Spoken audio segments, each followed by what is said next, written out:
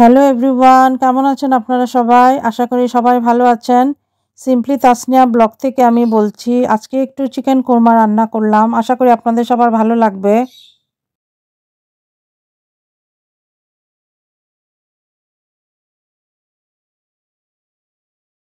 কোরমা রান্না করার জন্য এখানে দুইটা অনিয়ন নিয়েছি, এই সাইজের মিডিয়াম সাইজের। এখানে একটা রসুনের হাফ থেকে একটু বেশি নিয়েছি। কোরমাতে দেওয়ার জন্য এখানে আস্ত জিরা নিলাম এখানে পোস্তদানা নিয়েছি, পপি সিড, এখানে নিয়েছি রেইজন, কিশমিশ, এখানে নিয়েছি কাশু, বাদাম। আপনারা চাইলে any kind of nut use করতে পারেন। আর এখানে আমি রসুনগুলোকে একটু কুচি করে নিয়েছি। আমি সব কিছু একসাথে ব্লেন্ডারে ব্লেন্ড করে ফেলব। এখানে আমি পেঁয়াজ কুচি নিয়েছি, সাথে আমি আদা নিয়েছি। আমার আগে থেকে আদা ব্লেন্ড করা ছিল, সাথে দিয়ে দিলাম। এখানে আমি ফ্রেশ রসুন নিয়ে নিলাম। নাট রেজেন সব আমি একসাথে দিয়ে দিই। আলাদা করে আর ব্ল্যান্ড করলাম না।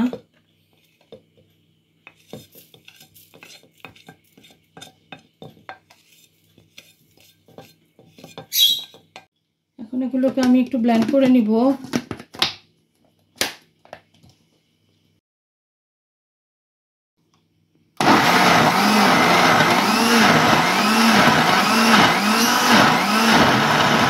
আমি চিকেনের মধ্যে এই ইয়োগারটা ইউজ করব আজকে।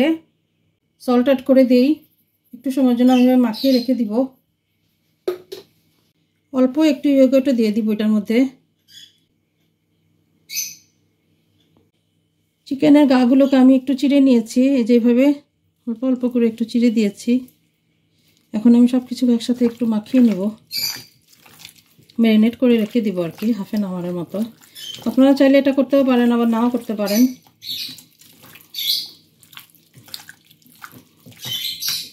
আজকে টেস্কো থেকে আনা হয়েছে থাইগুলো। এই থাইগুলো আমি ইউজ করব কোরমা করার জন্য। এটার মধ্যে কোনো লেগ পিস নাই, শুধু থাই পিসই ছিল। যেইভাবে পিসগুলো আমি রেখেই দিয়েছি, আর কাটিনি। যে। আমার রান্নাটা আমি স্টার্ট করে দিলাম। বিসমিল্লাহ রহমানি রহিম। আমি তেল আর ঘি দুইটাই ইউজ করব। আপনারা চাইলে শুধু ঘি দিয়ে করতে পারেন। আমি এখন অল্প একটু ঘি দিলাম লাস্টে আবার দিব ইনশাল্লাহ এখানে তেজপাতা নিয়েছি দুইটা দুইটা নিয়েছি দারচিনি টু ক্লোভ নিয়েছি, চার পাঁচটা নিয়েছি এলাচ, এগুলো এখন আমি গরম তেলের মধ্যে দিয়ে দিব।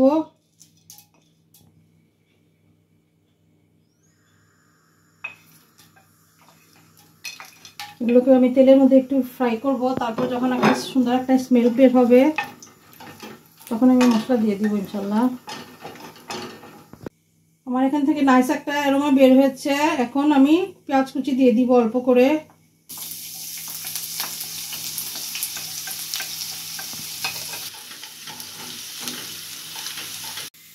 আমার পেঁয়াজটা ব্রাউন হয়ে গেছে।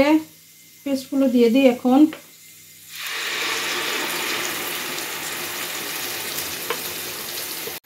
এখন পরিমাণ মতো সল্ট অ্যাড করে দেই। এখন আমি এটাকে একটু সময়ের জন্য ঢেকে রেখে দিব।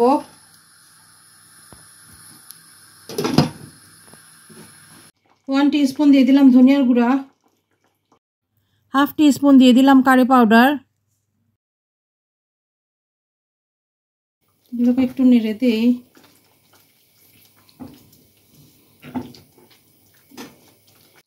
আমি অল্প একটু চিলি পাউডার অ্যাড করে দিলাম। কোরমার মধ্যে কিন্তু সবাই চিলি পাউডারটা দেয় না। আমি একটু দেই দেখেছি ভালোই লাগে খেতে। আপনারা চাইলে এটাকে ইগনোর করতে পারেন।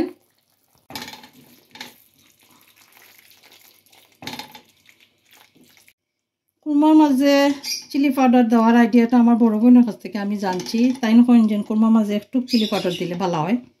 ওটা লাগে আমি দেই। আমি সবসময় দেই। দিয়া দেশি ঠিকও আসলে ভালো হয়। আপনারা দিয়া দেখতে পারেন।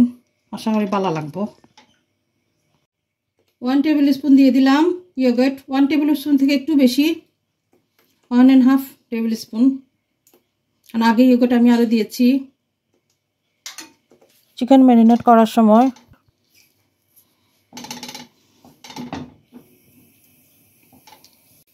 ব্ল্যাক পেপার গ্রাইন্ড করে দিয়ে দিই।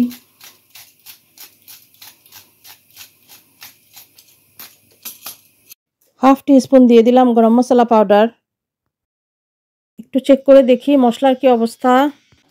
এই যে তেল উপরে উঠে এসেছে, এখন চিকেন দিয়ে দিব। চিকেনগুলো এখন দিয়ে দিই।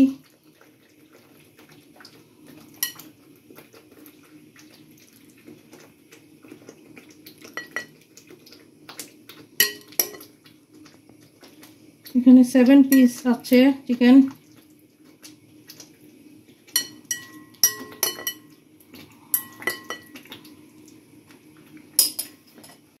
বোলটা একটু ধুয়ে পানি দিয়ে দিই। চিকেনগুলোকে একটু নেড়ে দিই।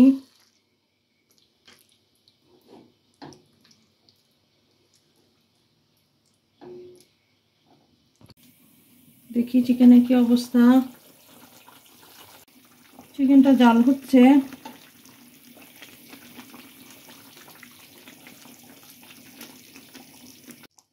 you going to add eggs today? না আজকে এক অ্যাড করতাম না? কারণ এগ বেশি রয়েছে না টু মনে হয় রয়েছে আমি আমি সবসময় রান্না করলে কুরমা রান্না করলে আমি সবসময় এক অ্যাড করি সবসময় কারণ তাসনিয়ার আব্বু তাসনিয়া খুব পছন্দ করে। আজকে আর দিলাম না কারণ ডিম শেষ হয়ে গেছে ডিম শেষ হয়ে গেছে আমার। মাত্র দুইটা ডিম রয়েছে তাহলে গ্যাস পোলাও রান্ধি লইলাম। আবার ঢেকে রেখে দেই। চিকেনটা দেখি সিদ্ধ হলো কিনা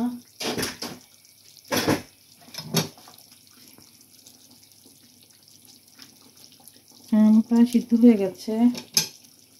এটার মধ্যে আমি এখন দুধ অ্যাড করব। দুধ মিল্ক অ্যাড করার সময় একটু আস্তে আস্তে দিতে হবে, তা না হলে দুধটা ছিঁড়ে যেতে পারে।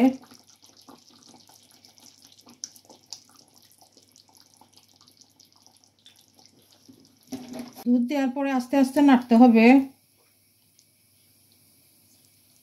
একদমই অল্প একটু পানি অ্যাড করে দিব। পানি না দিলেও হবে, কারণ দুধে আমার পুরো হয়ে গেছে। গরম মশলাগুলোকে উঠিয়ে ফেলি, এলাচ। টুকাইও পাইলাম না, সব হাইট হয়ে গেছেন। এলাচ উলাচে আমি তা তুলিলাই কারণ বাদে তা খামরোর মাঝে পড়ে ভালো লাগ না।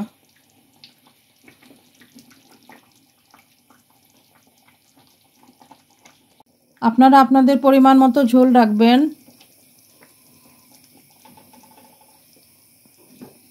ওয়ান স্পুন দিয়ে দিলাম সুগার সুগারটা দিলে কুরমাটা খেতে ভালো লাগে। আমি চারটা কাঁচামরিচ অ্যাড করে দেই।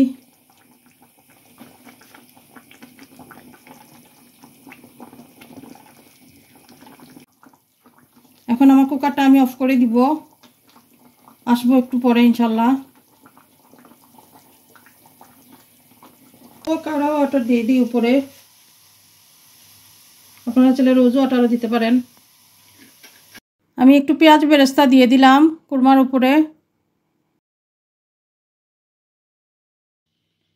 হয়ে গেল আমার চিকেন কুরমা। আশা করি আপনাদের ভালো লাগবে। আজকে আমার ভিডিওটা আমি এখানেই শেষ করব। ইনশাল্লাহ নেক্সট টাইম আসব অন্য আরেকটা ভিডিও নিয়ে। আপনারা সবাই আমাদের জন্য দোয়া করবেন। আল্লাহ হাফেজ।